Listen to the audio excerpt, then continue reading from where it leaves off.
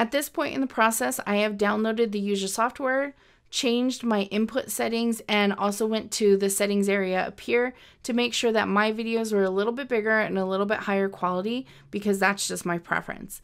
So before I actually start creating content videos that might be a little bit longer, I highly recommend that you create 30 second test videos just to test out those settings and your equipment, etc.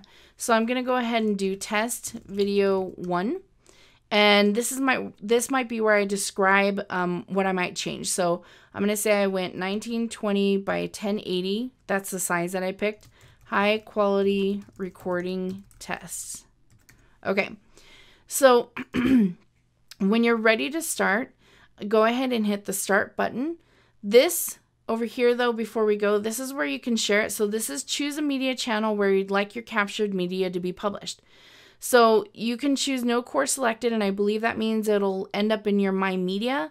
Um, but you're gonna have to check with the D2L administrator just to make sure. And then I can also choose which class I want to go want this to go to. Now I only have one class tied to me, but you might see several that are showing up here. But for right now, I'm just going to choose the sample course. Another thing to talk to the D2L administrator about is what if you're creating this video for, let's say you have three um, similar or the exact same class like Math 121. Let's say you have three of those on your schedule this year or this semester.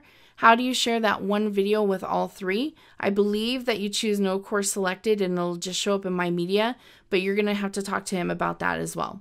So go ahead and hit select. All right. So the other thing is you can choose um, which folder to save your session in. Um, and again, talk to the D2L administrator about that because I only have one course, so I can't really test it out. All right, so I'll go ahead and hit start. And you can see that it says capture starts in one, two, three, or three, two, one. And again, you're going to see pretty low quality capture video source just because, again, I'm creating a tutorial video of this video capture process. But watch right here on the screen. If I go ahead and open up different folders, and maybe if I um, come in and go to a different place, like let's just go directly to Google and we can do um, a search, etc. So let's go ahead and see, we'll minimize that. And you should see that now my screen is still showing um, or is showing exactly what you're seeing in your tutorial video. So I'll go ahead and hit finish. And it's going to tell you that your capture session's ended.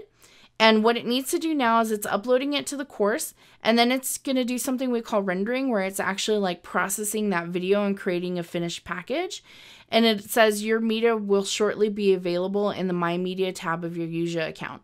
Um, so what that means is that if you're in Yuja in your course, you can go to My Media and that's where you'll see the video.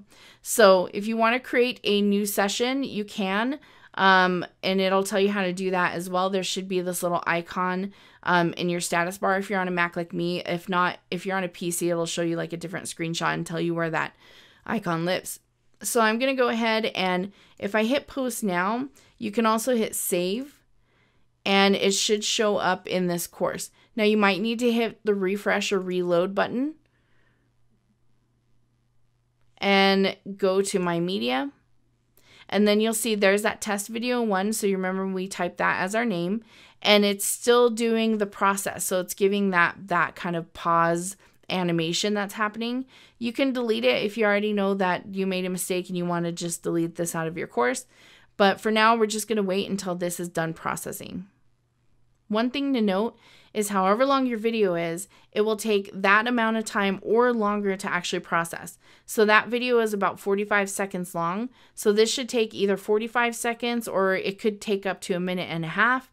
Sometimes if your computer doesn't have um, the best settings, it might even take two or three times longer. So just be aware of that. And also a good thing to note is that students have a really hard time with really long videos. You can probably see that now because this video, this tutorial video is almost five minutes. So you can probably see where a long video just doesn't really cut it. So break it into chunks if you can. This usual video would have been like 20 minutes if I had done all of them together. So I tried to break them up in at least five minute increments. All right, so as you can see, I uploaded this video three minutes ago, but um, it's only 45 seconds, so it took um, quite a quite a while for it to process in terms of its speed versus processing time. So now that this is in my media and it's fully processed, we can hit play to watch it. Now, it won't always have this screen. At some point, it's going to come up with an un unflattering screenshot of me. Um, but for right now, we can play this. We can share it with people, like give it the link. And if we hit publish, if I come into Yuja, just the like the top level, and by the way, if you ever want to get to the top level again, you can just click on this icon. But you can see that it is already published because I put post now when I saved it. I didn't just save it. If I just saved it, I believe it would just stay in my media, but it still wouldn't be available for the students. So when it's up in this level, that means it's available for the students and you can link to it in your content. So let's go back over here to my media. And in the next video, we're going to go ahead and talk about how you can edit this video.